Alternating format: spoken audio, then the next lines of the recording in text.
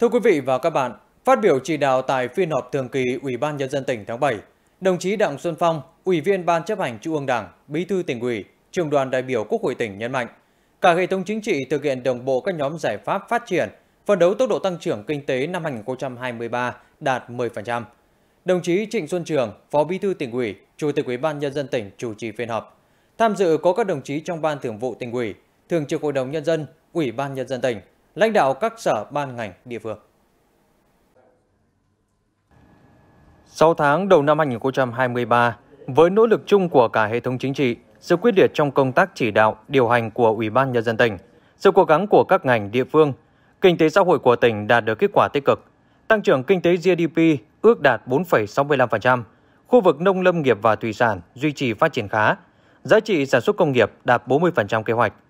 Tổng mức bán lẻ hàng hóa và doanh thu dịch vụ tăng 23,4% so với cùng kỳ. Du lịch phục hồi mạnh mẽ với lượng khách ước đạt 3,8 triệu lượt khách, tăng 128% so với cùng kỳ. Các lĩnh vực văn hóa, giáo dục, y tế, an sinh xã hội, việc làm, cải cách hành chính, an ninh trật tự đạt được nhiều kết quả nổi bật. Ý kiến tại phiên họp đã tập trung phân tích, làm rõ những khó khăn tồn tại, ảnh hưởng đến số thu ngân sách nhà nước mới đạt 30% so với mục tiêu năm.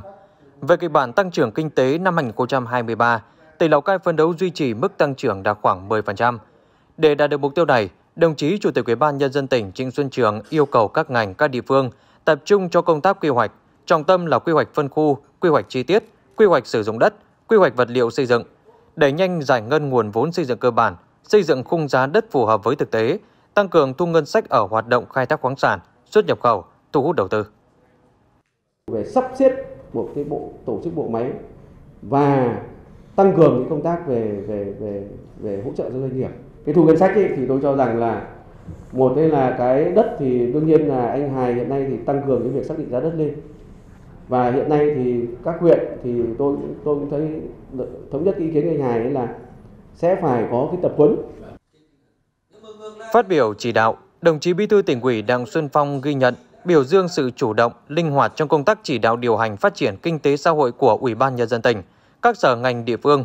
Phân tích thêm về những khó khăn nội tại hiện nay, đồng chí Bí thư tỉnh ủy cho rằng, ngoài yếu tố khách quan, công tác dự báo còn hạn chế, tình hình né tránh, đùn đẩy trách nhiệm trong công việc còn diễn ra, công tác quy hoạch còn bất cập.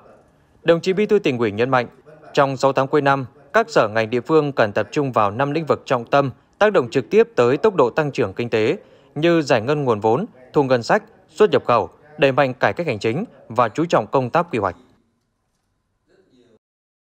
Tập trung đẩy mạnh cho cái giải ngân xây dựng cơ bản. Hơn 6.000 tỷ. Quyết tâm giải ngân. Mà giải ngân xây dựng cơ bản thì phải làm tốt công tác giải phóng mặt bằng. Giải phóng mặt bằng tốt thì làm giải ngân tốt, đầu tư tốt, Đồng chí Bí thư tỉnh ủy lưu ý, song song với nhiệm vụ phát triển kinh tế, cần đặc biệt quan tâm, chú trọng phát triển văn hóa xã hội, mở rộng không gian công cộng, quan tâm đến đời sống người dân, đảm bảo mục tiêu phát triển đồng bộ, toàn diện, bền vững.